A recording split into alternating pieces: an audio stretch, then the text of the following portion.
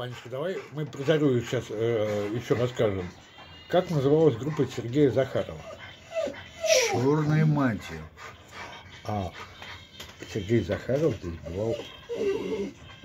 Сергей Захаров и Владимир Высоцкий бывали здесь. Здесь вот. На этой комнате. А, да, красный за. А вот, вот эта фотография сделана, вот эта фотография сделана за зарей, за полушкой.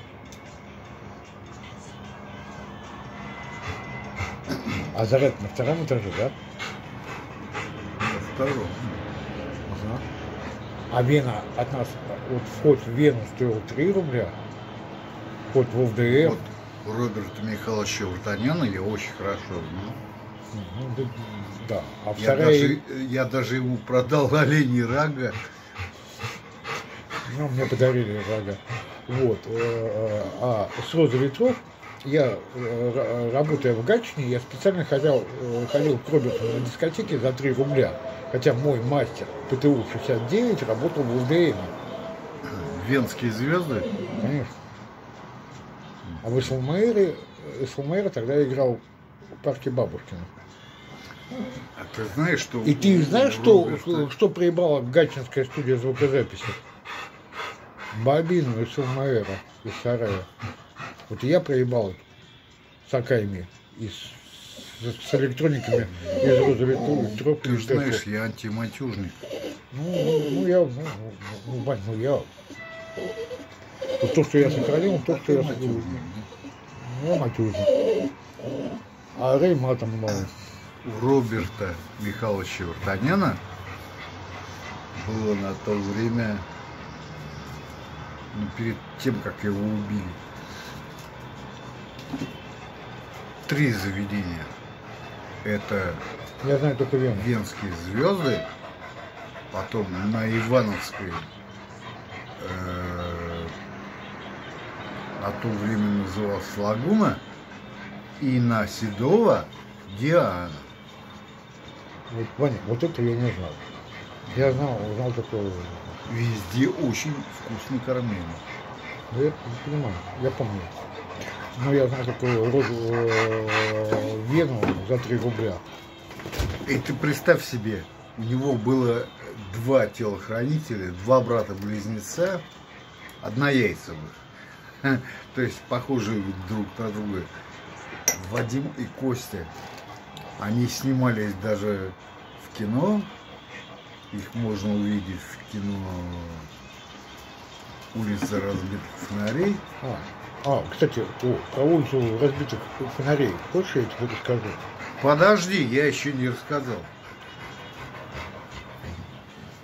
Когда я работал арт-директором в клубе такси,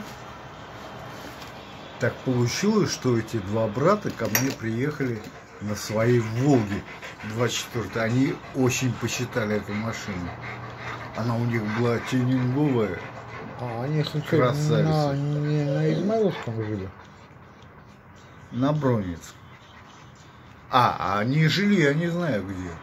Ты, э, у меня что-то Волга 24 э, с Измайловским и с Гатчиной. э, Я не знаю, где они жили. В общем, они ко мне приезжали, и в свое время я их попросил А Волга помочь была- мне, как охране, когда у меня выступал Шнуров А, со ну своей командой. Ленинграда. А? Модернизопа, что ли?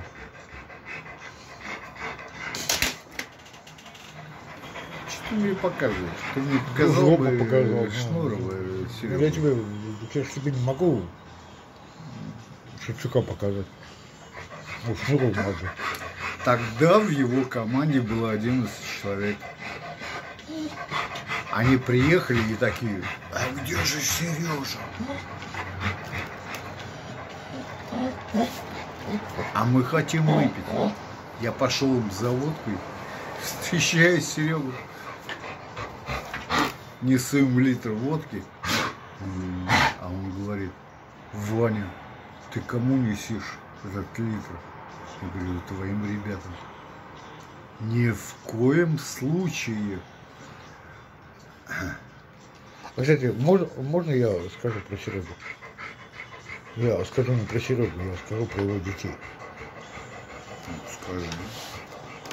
Его дети очень патриотичны, э, слава богу. Э, Лео сумел сфотографироваться с Сергеем Шнуровым, с дочкой Сергея Шнурова в свином рыле. Фотография получилась не очень плохая, а сын Сергея Шнурова, Аполлон Шнуров, да, вышел, чтобы сфотографироваться на фонтанку между баром Пургой и свиным рылом, когда была его выставка. Да. Сын Шнурова, да. Вышел, чтобы сфотографироваться с Сергеем. Да. А Лео это вот это. Поэтому Да, да. Вот такой патриотичный Ленинград. А Шнуров не вышел. А меня в свиное рыло не пустили, когда Шнуров Невзоров был в свином рыле, а, потому что у сына Шнурова очень сильная аллергия на собак.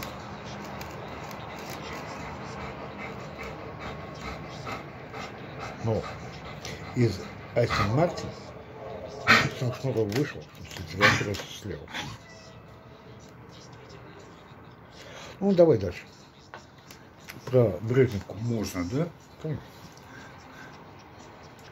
Так вот, когда мы с Сережей подошли к клубу такси, в котором я работал арт-директором, он всю команду выгнал на улицу, построил их шеренгой и начал отсчитывать конкретно, что бухать перед концертом нельзя.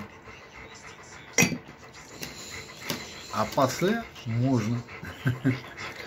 Слушай, вот не бухал с Арсенером, но э, я могу рассказать, как я, э, э, как я первый раз пришел на концерт Шнурова. Ну, это СКК, это само собой буква И, это Майский Дан, это, это Ира, это Металл Холдинг, мы, тогда Вася Караим сказал, что мы не можем, ну, Васька не, не пошел с нами. Потом мы еще раз, потом мы еще раз сходили, и именно мы встречались под буквой И в юбилейном. Я всего три раза был на концерте Шнура, и мы всегда покупали виски. 18-летний, да? Да, там детский сад такой, да, металлхолмер называется.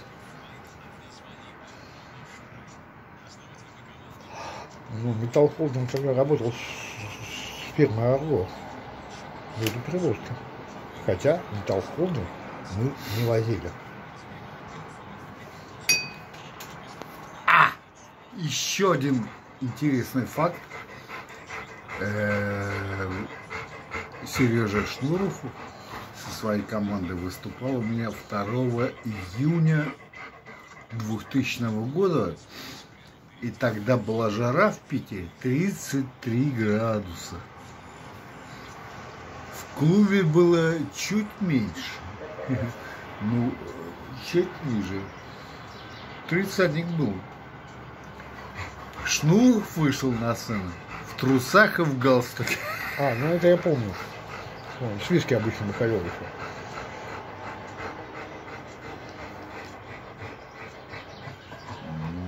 Прикольно. Вот. Ну, на самом деле, э, ценность квартиры э, в другом. Как называется твоя группа-то? С чего мы начали? Рокфлайт. Ну, это Брежневка на кухне. И мы ничего не говорим про группу ДДТ. Ничего не говорим. Ну, мы получили эти роли.